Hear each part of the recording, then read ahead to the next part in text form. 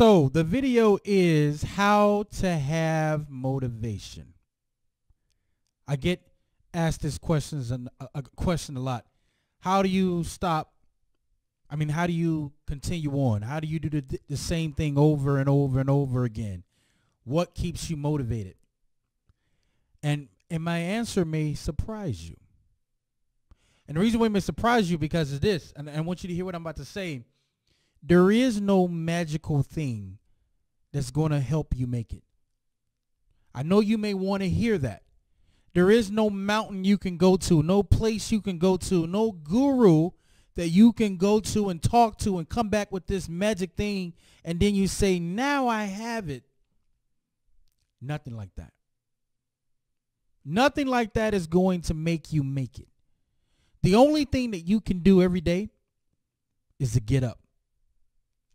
Get up and play the mental mind game daily because that's what it is.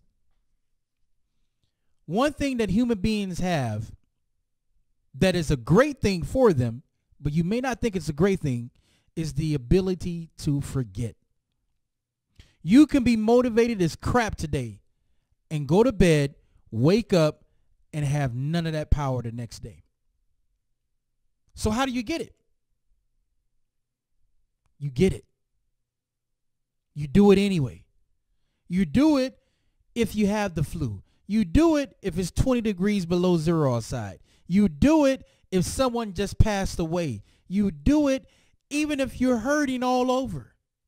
You do it anyway. That's it. Some of you right now are waiting around to find that magical thing and you wonder why it hasn't showed up yet. I had somebody tell me one time that things were going to be great for them. Jesus was coming to bring it to them. And this is no uh, put down of anyone anyone's religion, but my response to that was, how do you know that Jesus didn't already give it to you? And the only problem that you're having is that you're not using it. Think about it. Think about somebody you know that's highly motivated, right? Do you think they have bad times in their life? Do you think they go through sickness? Do you think anyone has ever died in their family? You keep doing it anyway.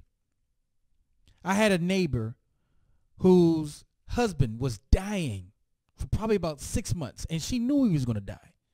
So she built him a fence around so he can be protected. He wasn't supposed to be smoking cigarettes, but he smoked them anyway. And when he passed away, I didn't even know he was passed away because I could not tell in her routine anything that changed. She was still mowing the yard. She was still saying hello in the morning time. And then one day, because I hadn't seen him in a while, I asked, how is your husband doing? And she said, you know what? He's been he's been passed he's passed away for a few weeks ago. I'm like, really? I would have never guessed. And she said, yeah. Never told us. Never wanted us to give him sympathy. Never came out. Never seen a cry. Never seen any of these things. But then all of a sudden, I just put two and two together and asked the question. She didn't miss a beat. So my thing to you is, would you miss a beat? If there is something going on in your life, would you miss a beat? Right?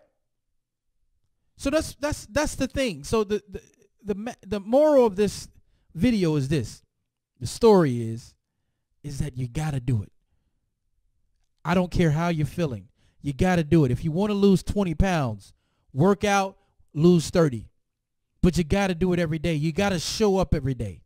There isn't like one day you can show up and all of a sudden it's fixed. See, a lot of you are looking for easy fixes. You're not going to get that.